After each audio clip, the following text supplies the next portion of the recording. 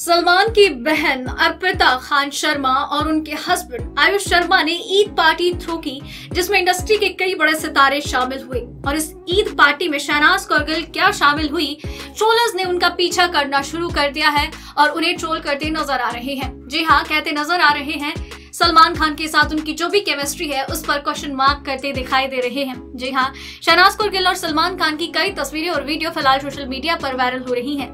सलनाज को लेकर बात की जा रही है तो वहीं कुछ ट्रोल्स हैं जो इसे लेकर शहनाज कुरगिल को ट्रोल करते नज़र आ रहे हैं। कहते हैं, शराब पीने के बाद इसका असली रंग सामने आ रहा है। शराब के नशे में धुत है शहनाज कौरगिल।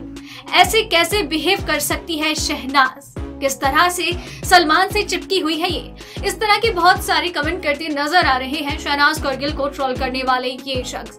बेशक ये कुछ चंद लोग हैं जो ऐसा करते नज़र आ रहे हैं, जबकि उनके फैंस हैं जो उन्हें काफ़ी ज़्यादा अडोर करते दिखाई दे रहे हैं और कह रहे हैं कि शहनाज इसी तरीके से खुश रहो, बस तुम्हारे चेहरे की खुशी ही चाहिए। लेकिन ट्रोलर्स अपना काम करते जा रहे हैं और लगातार उनकी खुशियों पर सवालिया निशान खड़े करते दिखाई दे रहे हैं।